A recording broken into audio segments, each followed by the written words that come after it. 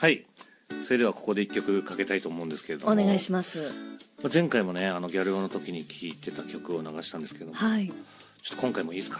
あ今回もじゃあ菅さんがギャル男の頃に、ギャル男時代にあの夏聴いていたええ。曲なんですけど。秋なのに夏ソングなんですか？夏行きましょうね、はい。えっ、とアクアゲンで「サマーイズ・コーリングお聴きいただいているのは菅さんの選曲アクアクエイゲンでサマーイズコーリングです」アクエイゲンでした。ちょっとごめんなさい間違えちゃった。これが揚げですね。揚げなんですよ、ええ。夏ですねこれは。本当ね。夏といえばこれでしたね。この曲を聴いててどのタイミングで一番イエーイってなるんですか？あのーなんだろうな。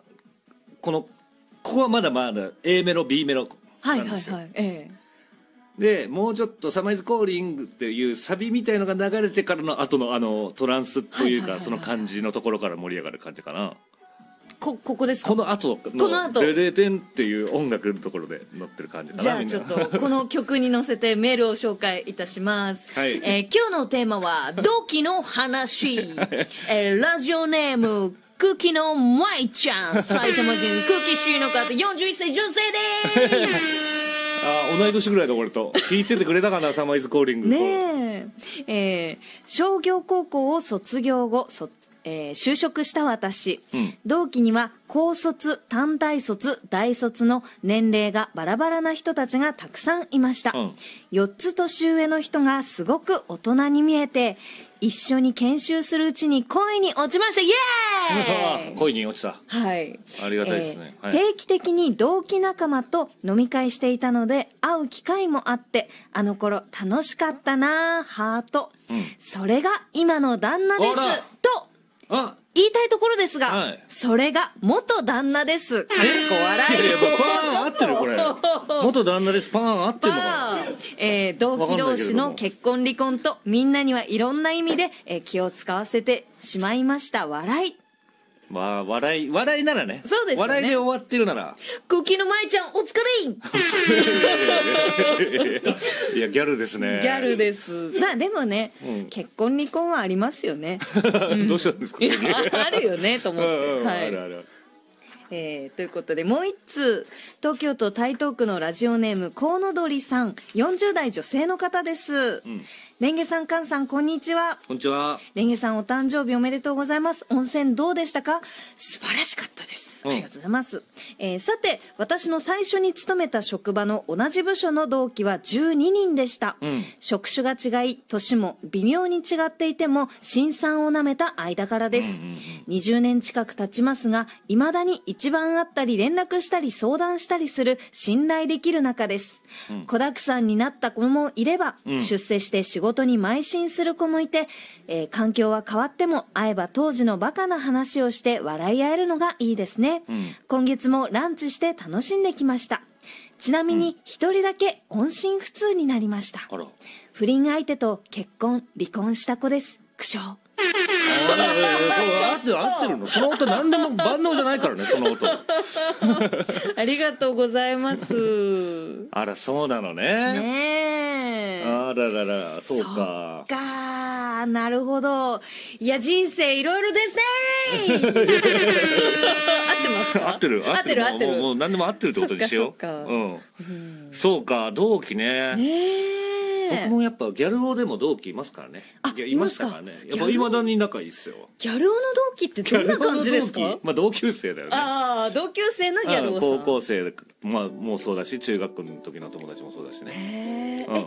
今もそのギャル男を続けてる方って？やもうでもみんな結婚しましたかね。ええうん。落ち着いて。あでもいまだに遊びますし。ええやっぱりもうそんなクラブとか行かなくなりましたあけど。そうですか、うん。今遊ぶとやっぱり当時の思い出話とかするんですか？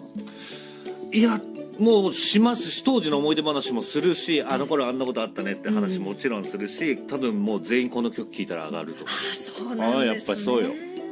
同期っていいもんですね、ううん。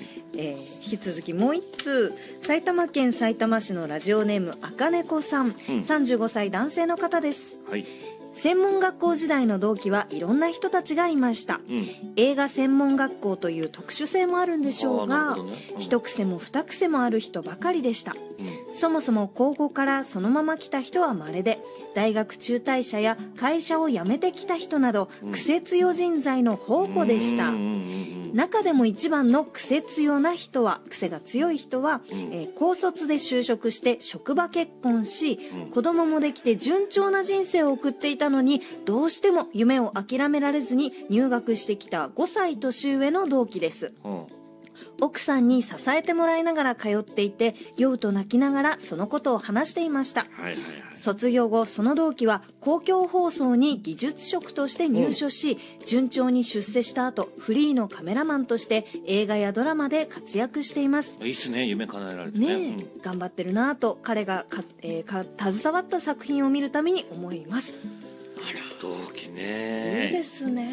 僕も養成所出身なんで癖強同期はたくさんいましたね。ね僕東京 NSC ってとこ出身なんですけど、入学した時は600人。そう。それでも少ないって言われててええ。僕の1個上は1000人。うんうんでう下も1個下も結構そのぐらいは800人ぐらいはいたんじゃないかなっていう。で僕が一番最初に入学式の時にはい見て、このやっぱりお笑いの養成所ってめっちゃ怖いの入るの。うんなんかすごそうですもんね。ううん。んでちょっともう自信もなかったんですよ。なんかその一人で入ったんですよ。僕もともと2人で高校の同級生で入ろうってなってて、はい。そしたらね直前でやっぱり親の仕事継ぐって言って一人になっちゃったんですよ、そう。めっちゃ不安じゃない？はい。だってその相手と一緒にやろうと思ってたんですよね。そうそうそうそうそうそしたら結局一人になっちゃってでももう入学決まってるし、うん。行くしかないかでもすごいやつらだらけなんじゃないかと思って、俺ね本当に養成所の入り口に行ったら一番最初に見た生徒のやつがあの本当のあの江戸時代とかのドラマのちょんまげ。に私服の侍の格好じゃないんだよ。洋服にちょんまげの格好してるうわやっぱそうだと思って。ええ。とんでもないやつらしかいないとこに来ちゃったえでもその時の菅さんはギャルを俺はそうギャル男っていうかまあ今今のもうほぼほぼロン毛で。ええええロン毛でヒゲで。ロン毛でヒゲで。まあまあ、まあ、ほぼほぼ変わんないですけど。そうですよね。いやそれでうわすっごいとこもう全員面白いんだろうなと思って、初めてのネタ見せの授業でその人のネタ見たら全然面白くなかった。いやー。いろん時がいる。いろんな時が。